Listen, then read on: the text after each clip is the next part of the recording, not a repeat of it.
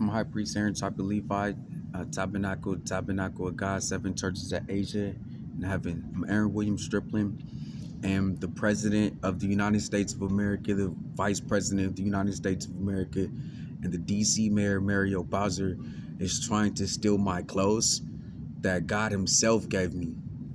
That I am required by God to provide to um, Jews.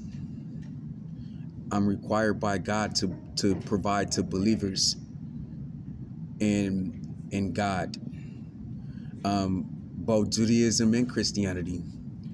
I'm I'm required by God to provide to congregation, to provide to my band, to provide for the population of people, and um, I want the president, the vice president, and DC Mayor Mario Bowser arrested if they're here to kill me for my identification so they can be the high priest, Aaron type Levi, Tabernacle, Tabernacle of God, seven churches of Asia in heaven. And that is for real.